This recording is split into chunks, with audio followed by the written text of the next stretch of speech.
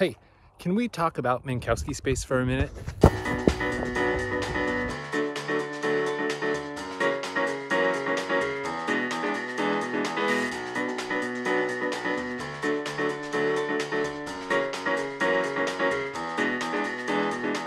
Minkowski space. It's um, pseudo Euclidean space uh, with like r1 comma n, where the one represents time from a physicist's point of view, and the n represents n spatial dimensions. We've been talking about pseudo Euclidean space, so I thought it'd be fair game. Um, the inner product, you might recall, looks something like this uh, say for some vector v, v dot itself is minus d squared plus x squared plus y squared plus z squared. And if you have more than three dimensions, you just keep adding on more. And that minus sign causes all the trouble because the inner product is not positive definite, which means there are non-trivial vectors that have zero norm. Mathematicians call those vectors null vectors for perhaps obvious reasons, but physicists Physicists will call these vectors light-like vectors because uh, you can use them to model photons, particles of light, things that travel at the speed of light.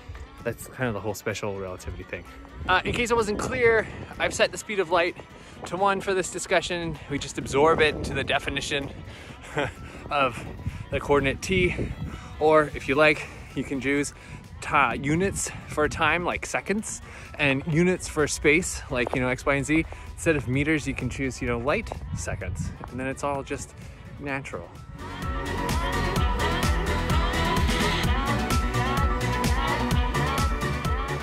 Here's a fun fact, not that light beams are sentient by any means, but they don't really experience time the way that we do. from their perspective, everything is instantaneous, at least everything that can be.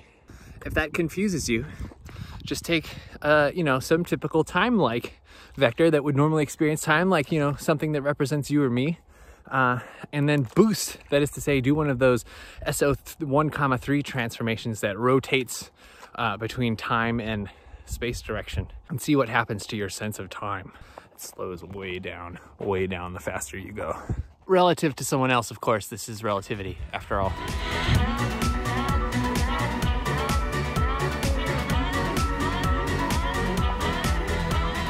I mentioned this not because I want to talk about physics or photons or whatever. Uh, I actually want to talk about conformal geometry. And as it turns out, null vectors are really useful in conformal geometry. Can you guess why? Yeah, because anything times zero is zero. But in particular, we're going to be interested in the set of null vectors of Minkowski space of this R1 comma n. And that is precisely defined to be a cone. A cone with like, it's an algebraic variety, whatever. There's a little singularity at the origin, you know, x, y, z, t equals zero. Um, but other than that, at fixed moments in time, you're looking at a sphere centered at the origin whose radius is given by time. Moving forward in light cone, forward in light cone is much easier to understand. It's like the photons that left uh, the origin at time t equals zero are expanding out. The backwards light cone the backwards light cone is also a thing.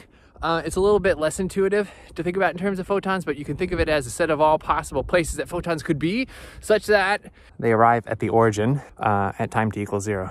So uh, if that freaks you out, just kind of do the involution, uh, send t equal to minus t, and just flow the thing backwards in, in time. Look at those crazy clouds. And look at the wind blowing over the Sawtooth range.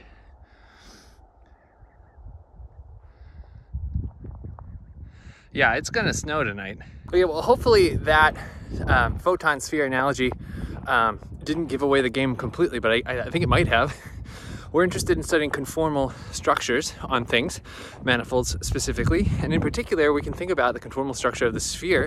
So basically, that's all that is is an equivalence class of met metrics, uh, in this case, the round metric on the sphere, that are related by uh, conformal transformation right? So just some factor uh, out in front, say lambda. The light cone, you know, the subset of all zero vectors in, let's say that with t greater than zero, uh, in R1 comma 3 gives us a really nice example of a conformal structure on the sphere because uh, time just is this linear, nice, beautiful scaling for the sphere. The sphere just grows with time. Cool. Um, why do we care? we care because we're interested in studying conformal transformations in Euclidean space, say Rn. Uh, and so let's take R2 as an example. You all know that sometimes it's fun to, to compact R2 into uh, the sphere, right? It's really useful for a lot of purposes, uh, and we can do that with a, with you know one point and we, the inverse, if you like, of the stereographic projection, which is fun, obviously. But what's interesting here is the light cone is, a conformal structure for for the sphere, uh, the two sphere, which means that it also represents the conformal structure of R2. What?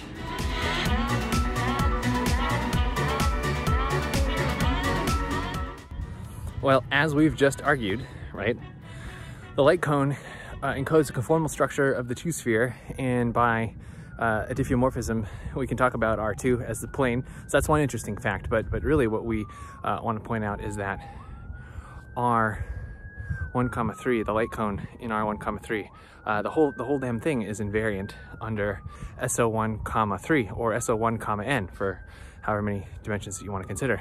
That's the problem with living in a valley. You can hear sirens no matter where you are. What I'm trying to say is that SO 1 comma 3, the group of isometries, linear isometries uh, in Minkowski space, is, literally is, the group of conformal transformations um, in R2 or on the sphere, however you want to think about it. To prove that, the first thing you probably, well, to prove that it's kind of best done by example, or at least best done explicitly. But uh, if you want to get started, remember we talked about the conformal isometries of R2 and there being six of them? Well, how many generators are there in R1 comma 3? Six, right? Because you can rotate T with X, T with Y, T with Z, or X with Y and X with Z, or Y with Z, right? Six. And how many conformal transformations are there in R2? Two translations, right? Things that are uh, depend on X to the zero uh, one scale and one rotation. So that's two things that depend linearly on X. And of course, the two special conformal transformations. So two, two, two, six. Not an accident. Looking at the explicit map between SO1 comma 3 and the conformal group on R2 uh, is probably best done at home where there's a blackboard or, or a chalkboard or even just pens and paper just because there's a lot of writing involved because there's a lot of computations um, but so we'll do that in another video but I just wanted to bring that to your attention now um, also, since we're here, let's do one other quick calculation. We arrived at this kind of uh, line bundle almost over the sphere, right? The conformal structure of the sphere by considering the light cone in R1, comma 3, uh, and then taking uh, what is it, time-like or space-like hypersurface? Uh, hypersurface is a fixed time, just like conic sections, right? We just uh, cut the top off and that's how we got spheres. Um, but there's another kind of conic, light conic section uh, that we can take.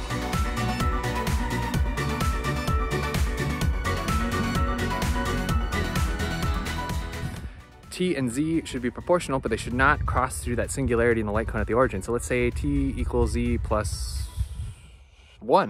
one. right? Take that slice through the light cone, what do you get? Well, it's a short little calculation, right? So you take the line element, minus t squared plus xy squared, blah, blah, blah, blah. Replace, uh, well, you know, that whole thing has got to equal to zero because we're on the light cone. Take that t squared, throw it on the other side. So now we've got a nice kind of reasonable thing to work with. Now replace t squared with uh, z plus one whole quantity squared. And what do you see? Right, we can cancel the z squareds and we're left with a paraboloid z is equal to 1 half quantity x squared plus y squared minus 1. Now you can show that that's essentially diffeomorphic to the plane to R2 by itself. There's lots of ways to do that. The most obvious thing you can do is just project straight down, do a projection, a, a, simple projection, a trivial projection just down to the plane, which is totally allowed because there's no what? Why is that not allowed with the sphere, but allowed in this case? Because there's no North Pole. It's a paraboloid. But if that doesn't convince you, another thing that you can do is do the stereographic projection from those spheres we talked about earlier. Instead of onto the plane, you can project down onto this surface, this paraboloid, and then look at the induced metric. And you know what you're gonna see? It's flat. it's flat. It's just uh, x squared plus y squared, no big deal. So now the last thing that we should probably do is show that any point on the light cone, you know, any vector on the light cone can be found inside one of these slices, right? So how do we do that? Well, um, let's take a parameter c uh, and have t equals z plus c. First, let's let's figure out what the paraboloid is. So that's just uh, z is equal to what? 1 over 2c times quantity x squared plus y squared minus c squared. Good. Um, so clearly x squared plus y, you know, doesn't matter. Anywhere on the plane x, y squared is going to be involved in this paraboloid. So that's not an issue. What's an issue is we want to make sure that we have every single point uh, on the upper part of the light cone um, that includes a value of t and a value of x, or excuse me, z, let's say z naught. Uh, and how do we connect those two? Well, yeah, you just take c equal to be the, di the difference, the length of that vector that connects those two points. Boring. That represents a point on the light cone, right? Somewhere in light cone, z and t. So for a fixed time, you pick that, that choice z. Uh, and so then you just take the slice right there. Um, so you're guaranteed to have that, that particular position. Easy. So what are this, uh, what is this foliation of, of um, paraboloids look like? Well, it's going to be really hard to draw, but I'll give you a couple, right? So it's just a, from very narrow uh, to ever widening, broadening out uh, paraboloid, which will eventually go to the plane for large enough value of C, although let's not really discuss that too much, shall we? I should caution that that picture is not exactly right, despite how appealing it is to our three-dimensional sentient sensibilities. um, in reality, what you should think of is a little ring starting at a point, say, uh, you know, at time t equals zero, it's z equals one, and expanding forward, going up in z and getting bigger and bigger and bigger uh, with time. So it's a video, a movie, if you like. Uh, and that's why it's a still a two-dimensional surface, um, only if we kind of think of it as a movie moving forward. Uh, kind of like a like a like a bubble ring that a, a diver might emit out. Okay, well, that's enough for today. We're gonna go run home before the sun sets.